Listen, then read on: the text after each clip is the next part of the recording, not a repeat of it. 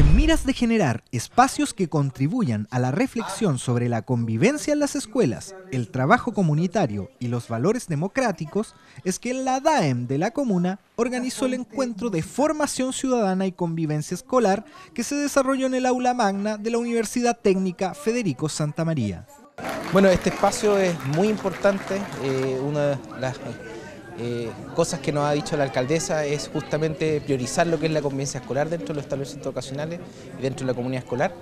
y esta es una iniciativa que se realizó justamente con ese objetivo. La convivencia es el resultado de un montón de acciones previas,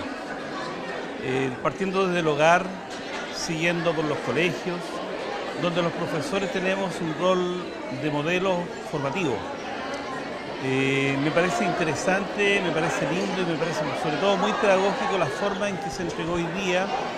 eh, la, la forma de relacionarnos desde el marco de la convivencia. En el encuentro, distintos expositores trataron temas como el respeto, la diversidad en el aula de clases y las estrategias necesarias para mejorar los procesos de aprendizaje enmarcados en el clima intercultural y la igualdad de género.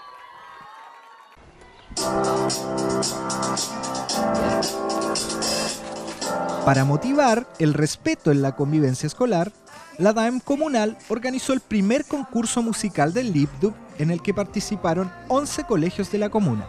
Resultó ganadora la escuela Thomas Jefferson con el rap sobre el respeto, canción original compuesta por los mismos alumnos y que ha sido furor en redes sociales.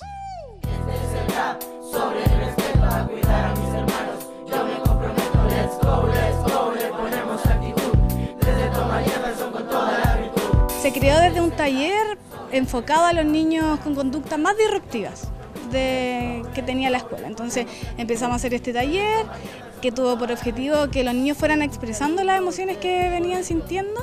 y fuese eh, un momento reflexivo importante para que ellos puedan ir mejorando también como, como personas, pudiésemos entendernos, fue un espacio en donde nos pudimos entender mucho, tanto los adultos como los niños. Entonces, ahí fue creciendo, empezamos en este taller a hacer yoga, mandala y fue evolucionando hasta que llegamos a una canción.